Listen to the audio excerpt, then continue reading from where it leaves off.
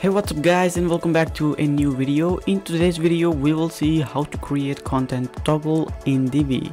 So creating content toggle can be very challenging in Divi but if you want a very simple option to create content toggle in Divi then um, here I am. So using the Divi Supreme's newly released Divi content toggle module we can easily create content toggle in Divi. So uh, here you can see some of the demos uh, and we'll we'll also see how you can create content toggle using their module. So here's how it looks and here's a pricing table and some more demos on this page like that. So let's see how we can create the same thing for our Divi websites so let's just get started so first of all come to your WordPress dashboard and uh, as we have two toggles in the content toggle module we'll need to create two library layouts for each toggle. So we'll just go ahead and create two library layouts first before we add content toggle module to our page. So let's just go ahead to Divi then Divi library.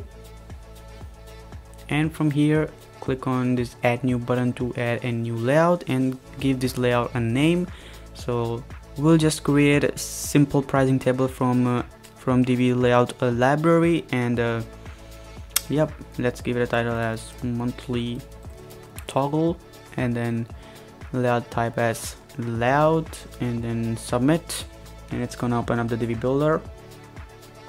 So let's build from scratch and uh, sorry we need to add the layout not build from scratch okay so uh, let's just search for pricing. So uh, this one looks really cool so we'll just use this layout. Okay so the layout has been loaded uh, so let's just go ahead and delete some of the unwanted elements from the page. So let's just delete these sections from here. And and then we can uh, go to this section setting background and just simply reset it. And I think we are good to go. We can also make the row full width and like that. And then remove all the padding from here. And same goes to the bottom. Okay so we have the pricing tables in the Divi library as a monthly toggle with no spacing anywhere and then we can go ahead and save this. Okay so now we can go to Divi library in a new tab and then create a new layout and uh, give it a name as yearly toggle and then uh, change the layout type to layout and then submit it. And what we can do now is copy this section from here and uh, paste it right over here and then delete this empty section. And from here we are to change the monthly text to yearly like that. Super duper easy. And then if you have any changes to make in your pricing table you can go ahead and make them. And yeah the main thing is don't forget to change the pricing okay? So uh, let's just give it like 199 and for this one something like that maybe. It's just a demo so we'll just go ahead. So it's now saving and uh, okay so now we have both layouts in our Divi library yearly toggle and monthly toggle. So now we can go ahead and create a new page. Or if you have already created a page you can go ahead and edit that. So let's just give it give this page a title as content toggle demo and then use the Divi builder. So let's just go ahead and uh, build from uh, scratch. Okay so we can add the module content toggle module here and it's really simple to use just give this switch a heading.